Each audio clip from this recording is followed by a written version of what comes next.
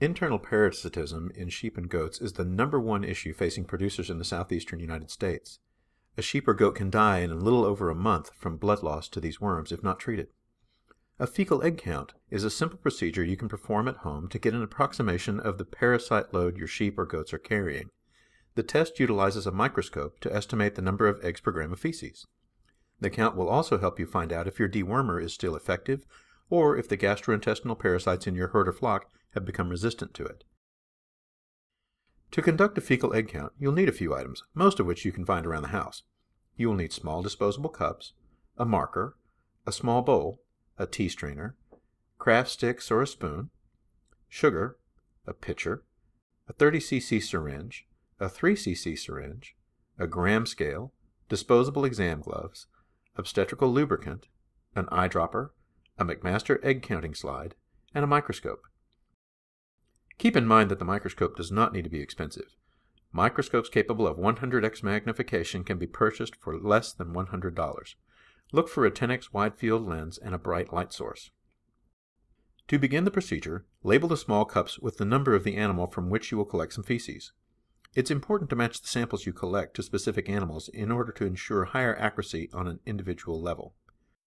You may be able to collect fresh feces if you see the animal defecate. Otherwise, use an exam glove and lubricate the index finger. Insert your finger into the rectum of the goat or sheep and gently remove about 8 to 10 fecal pellets and place them in a bag or directly into the cup. You'll only need 2 grams of feces, so this will ensure you have plenty. After you have your samples, mix 5 parts sugar to 4 parts water to make your sugar solution. An easy measurement is 1 and a quarter cups of sugar in 1 cup of water. It may take some time and a little heating on the stove to get the sugar to dissolve completely. The solution is intended to be very dense, so that once the fecal samples are mixed with it, any eggs will float to the top. If you have a gram scale, weigh out 2 grams of feces for each animal and discard the rest. If you do not have a gram scale, use a 3 cc syringe and pack 2 cc's or 2 milliliters of feces into the syringe to approximate 2 grams. You can cut the tip off the syringe to make it easier to get the feces out of the syringe once you have measured the sample. Remember to keep each animal sample separate.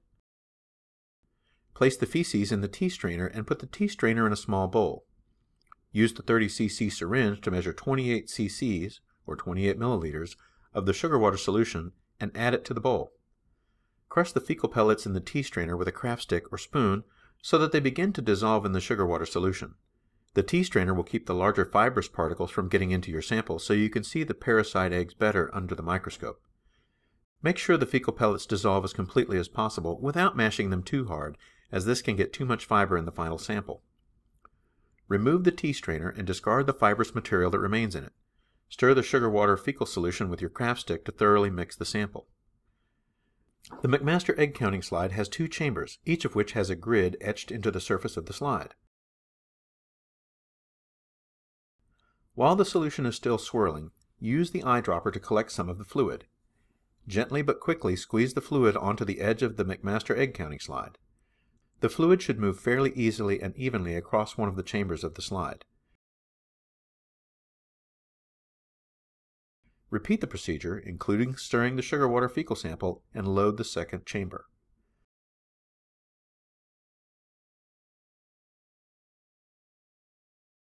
Allow the sugar water fecal sample to settle briefly, about 5 minutes. You may use this time to prepare the next sample for counting. Use the 4x or 10x objective lens to count the parasite eggs you see that are in the grid area. Start by focusing the microscope on the air bubbles. Air bubbles will float at the same level as the parasite eggs, but they are easier to find. Air bubbles are round and will be dark around the edges and bright in the middle. Parasite eggs will be oval and lighter around the edges and darker in the middle. You may want to use a clicker counter, available for under $20, to keep track of your count. There are usually two knobs beneath the stage where the slide rests. These knobs allow you to move the slide up and down and from side to side slowly so you can get an accurate count. Do not include eggs that are outside the grid lines of the slide or you will overcount the number of eggs. Note that the grid lines on the slide can often be difficult to see in the samples that contain too much fibrous material or if the microscope's light bulb needs to be replaced. Now you want to find the number of eggs per gram of feces in your sheep or goat. Write down the animal number and number of eggs in the fecal sample.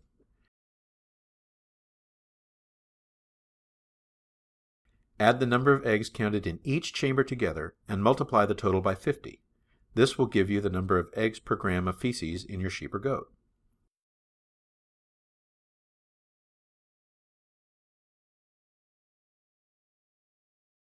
Creating a home fecal egg count kit is relatively inexpensive and the procedure is easy.